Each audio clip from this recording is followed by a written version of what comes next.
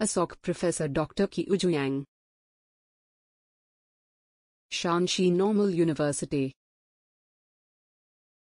She is coming from China. Best Research Award Dr. Yang's outstanding work in computer vision, machine learning, auroral image processing, and AI-assisted diagnosis for medical imaging is truly commendable. This recognition reflects her dedication and contributions to advancing scientific knowledge and innovation. Wishing Dr. Yang continued success in her research endeavors. The Best Researcher Award at the International Research Awards on New Science Inventions by Science Father.